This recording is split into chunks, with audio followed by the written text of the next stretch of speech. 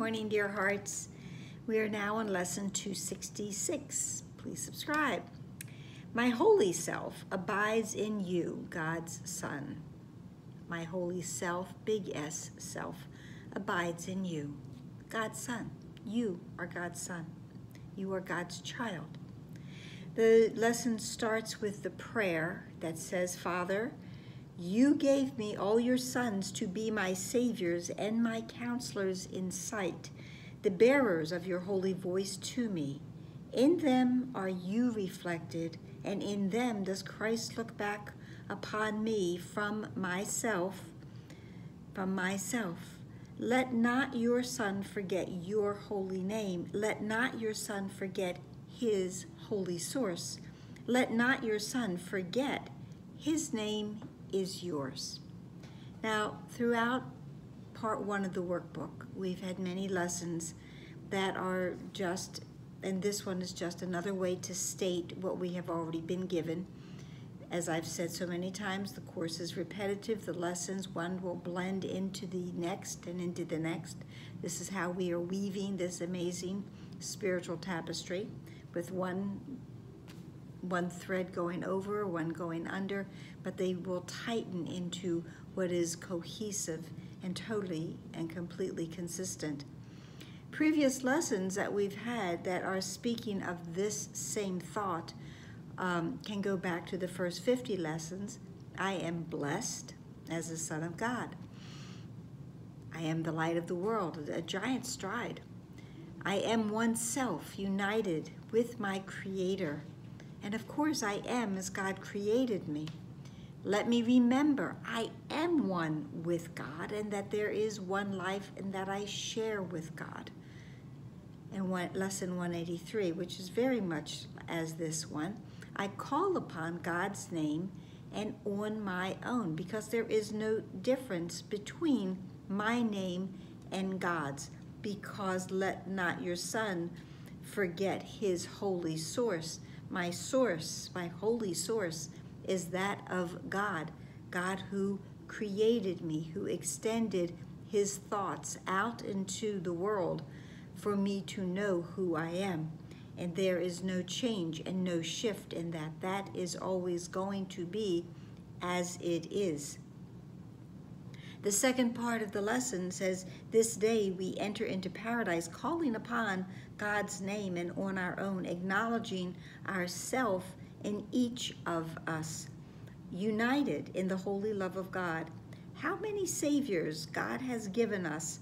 How can we lose the way to Him when He has filled the world with those who point to Him and given us the sight to look on them, the sight, the true vision to really look upon all of our brothers as one.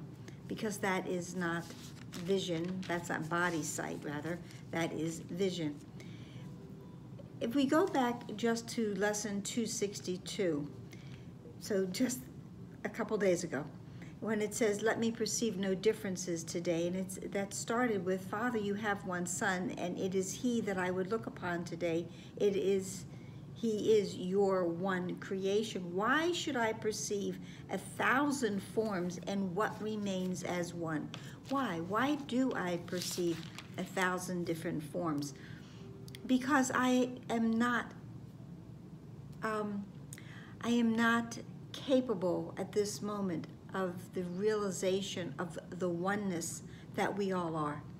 It seems to me that I see a thousand different forms. I see a thousand different bodies. This section, of course, is what is the body? It is a fence. However, it can be my Savior.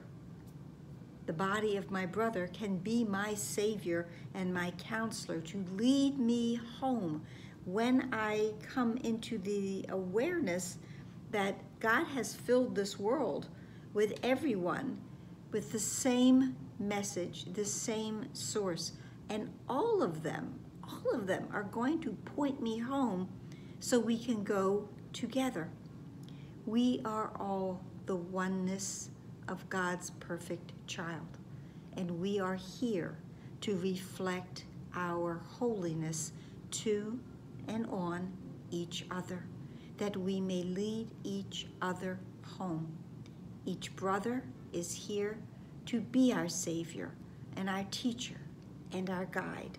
So when I call upon God's name and on my own, when I realize that my holy self abides in you, God's Son, I'm really coming to the recognition that there is no differences, that this oneness that we speak of is real, it's true. And in you, in you, I see the reflection of God's love.